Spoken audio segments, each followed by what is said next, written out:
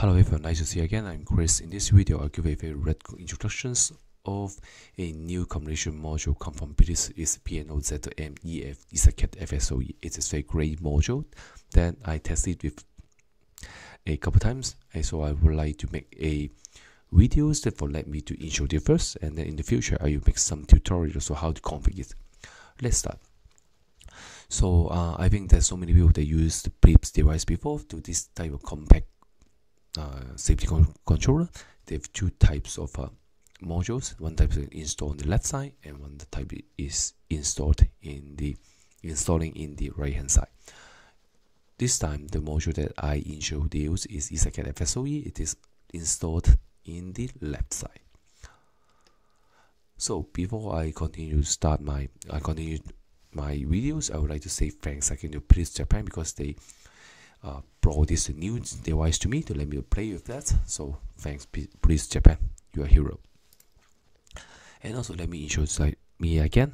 I'm Chris. I come from Hong Kong. I'm working with some stuff in factory automations. In the left hand side here is my Twitter, my blog, and my YouTube channel. If you like me, you can follow me and to get my newest update videos. Okay, so what is the highlight point of this FSOE module?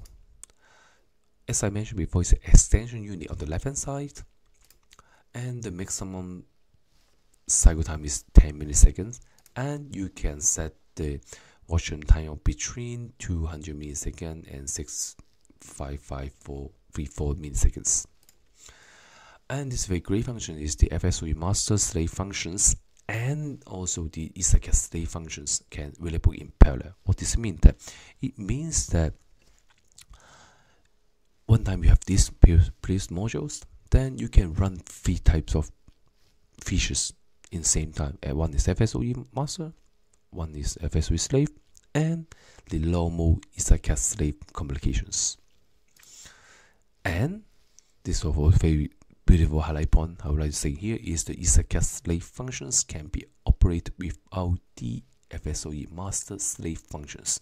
It means that this module can be just operate as a normal communication in EtherCAT.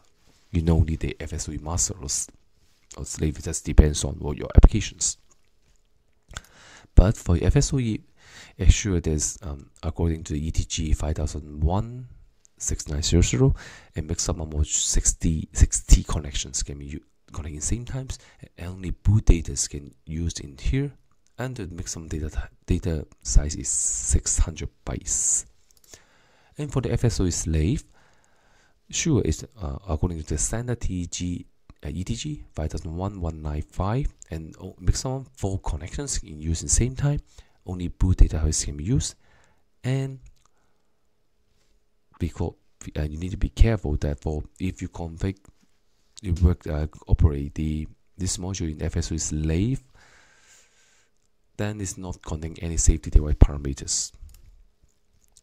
So if you want to use the this module then you need to download the latest versions of the converters that you download from Pilz website then you can configure the EtherCAT FSOE modules.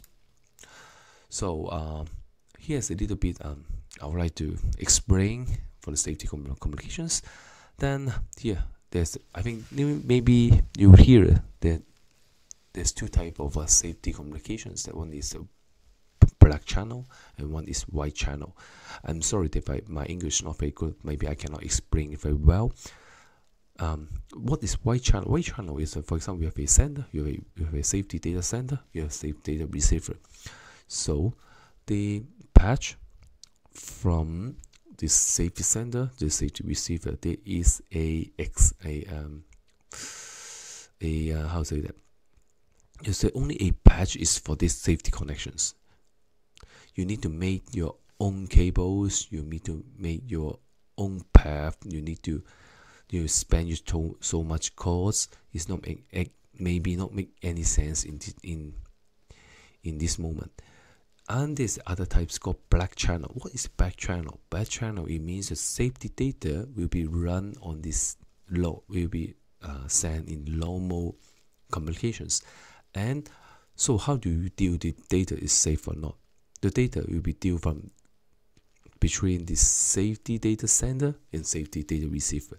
The safety data safety data sender will generate the safety data. In, inside you have maybe have CRC, you have time step, so many things, blah blah blah.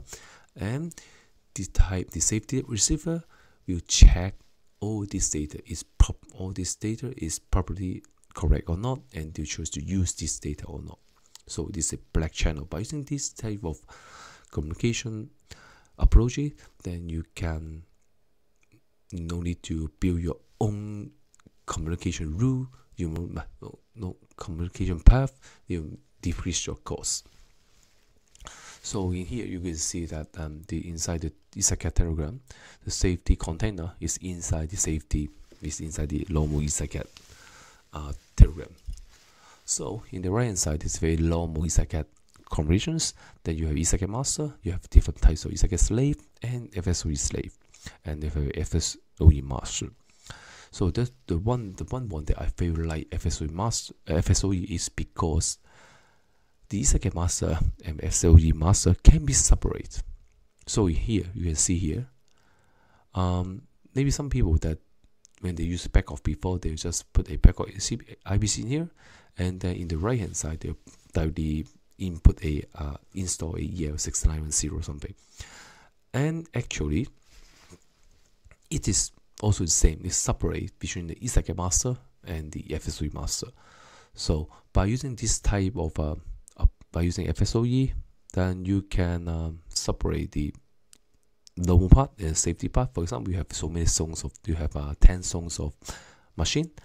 Then each song you can have one FSOE master, maybe, and then each FSOE master can control its own safety zone.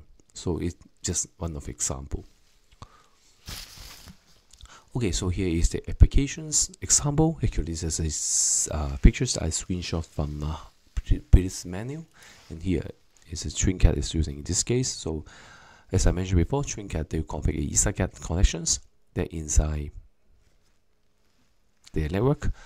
Um, at the same time, I use the PNOZ multiple converters. Then I'll import the ESI files. So in this case, maybe I'll need to import the EL1904 and EL12904 ESI conversion file that inside my converters.